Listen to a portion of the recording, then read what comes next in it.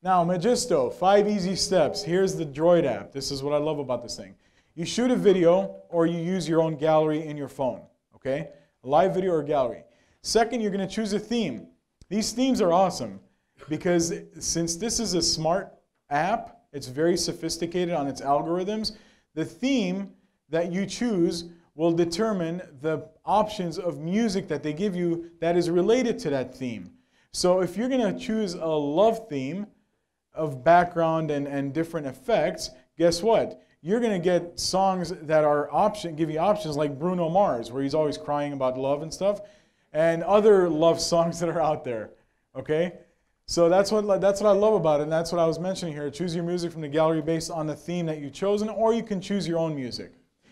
The fourth step is you add a title, and that's optional. And then guess what? You're done. You click on Make Movie, and the app itself edits the video that you just made based on their sophisticated algorithm of motion senses and, and, and tonality senses. And I'm going to show you their algorithm right here. They, they're a sophisticated app. They have emotion sense technology, and they analyze the footage, okay, based on their own algorithm. And here's how it works.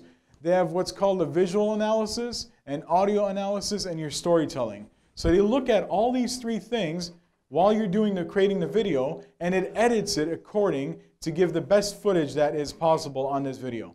It's, it's an excellent thing. It's got, of course, premium pricing as well. Non-premium max time is a uh, minute and 15 seconds. Uh, premium max time is 2 minutes and 30 seconds. $4.99 a month or $17.99 a year. You can't beat that. Very cheap for a video editing tool that's on the go and it's mobile.